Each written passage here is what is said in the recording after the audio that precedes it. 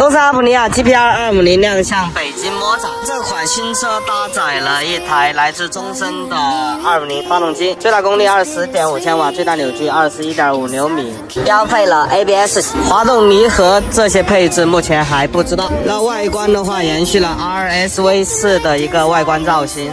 据厂家人员介绍，那么今天这个 GPR 二五零不会发布售价，只是一个亮相。那么国内市场现在越来越多的入门级仿赛，那么 GBR 二五零能否获得市场认可，我们拭目以待。Fearless.